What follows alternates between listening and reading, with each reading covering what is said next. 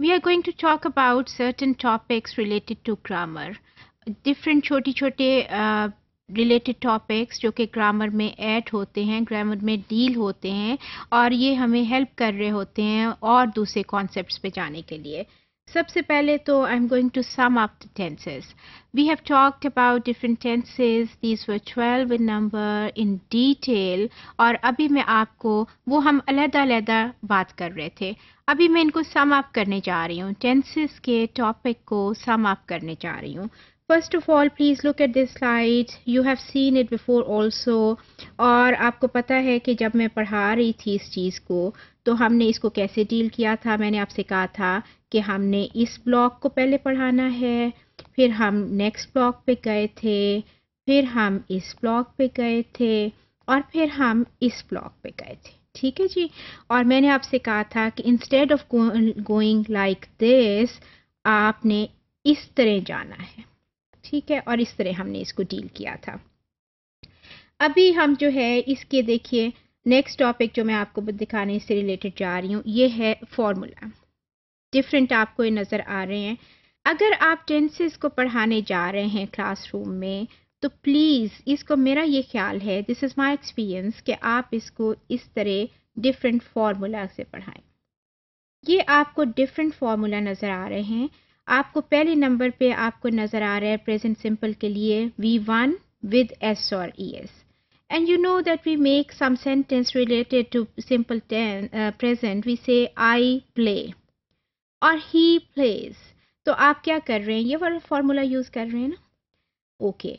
और अगर आप चाह रहे हैं पास्ट सिंपल के लिए तो आप क्या कहते हैं? I played so you are using this formula you are simply using second form of verb.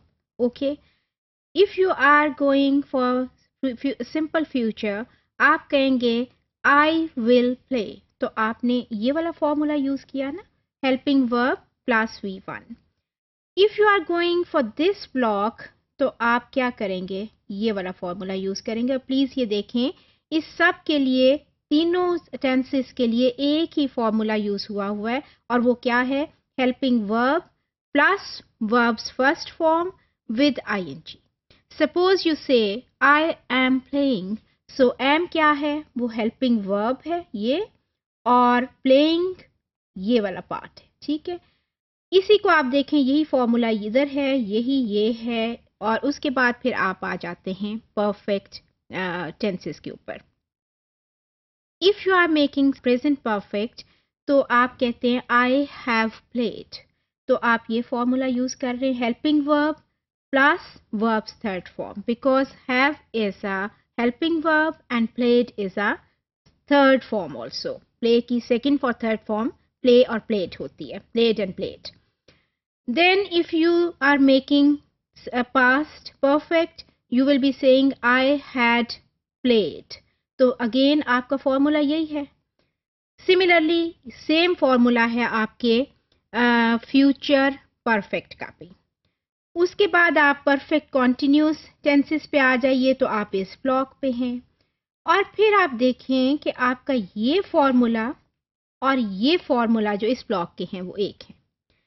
Now if you look at this table precisely तो आपके पास एक ये फॉर्मूला है नंबर टू ये है नंबर थ्री ये है नंबर फोर ये फॉर्मूला है, यही आपका यहाँ भी यूज़ हो रहा है, और नंबर फाइव ये formula you learn these five formula तो आपके पास पूरे ट्वेल्व टेंसेस हो जाते हैं। So when you are teaching your students please help them with this this concept and try to teach them like this वो जो आपकी ग्रामर्स में होता है कि जी डिफरेंट टेंसेस दिए हुए हैं, और माली पानी दे रहा था और मैं यहाँ भाग रहा था please don't go like this क्योंकि if you simply tell them that this is simple present and this is simple this one और फिर उसके बाद आप उनको ट्रांसलेशन में जाना शुरू कर देते हैं it simply creates confusion for them so look at this aspect and try to teach them with this type of techniques and this type of strategies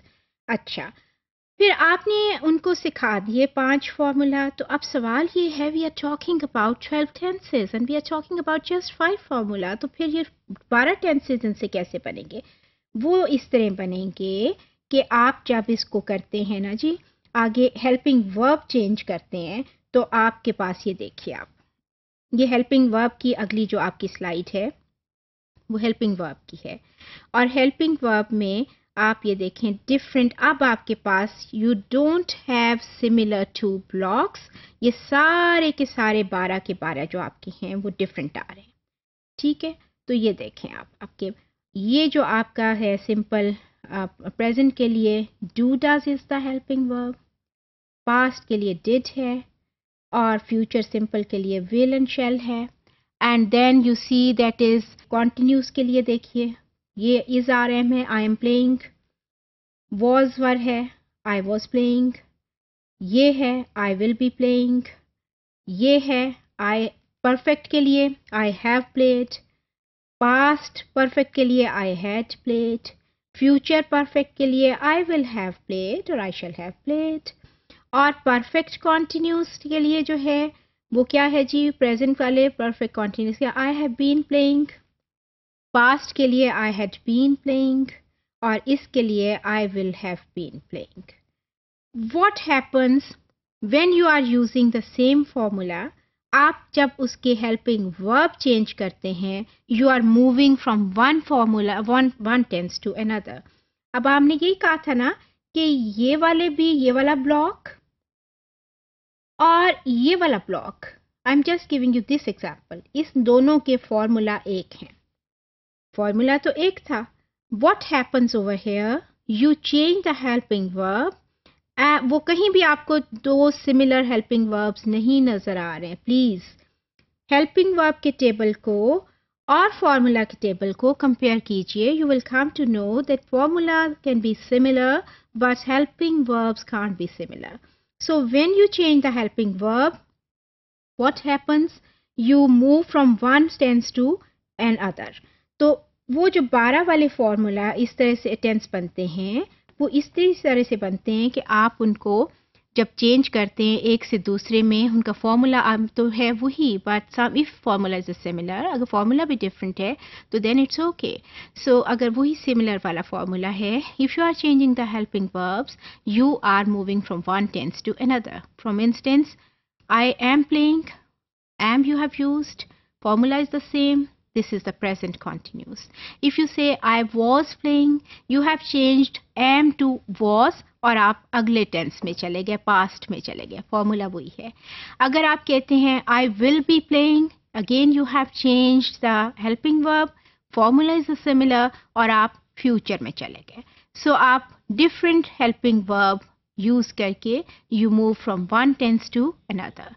So when you are conducting this topic in your classroom, please keep in mind these strategies और यहाँ से बच्चों को compare और contrast में ले जाइए और उनको इस तरह सिखाइए tenses. So if you teach them with this strategy, I think it will be more clear for them because tenses हमेशा में I this is my experience कि students को वो तंग ही करते रहते हैं और डराते ही रहते हैं। So get in to these try to get in to these strategies so that आपके स्टूडेंट्स के लिए the topic will become much more easy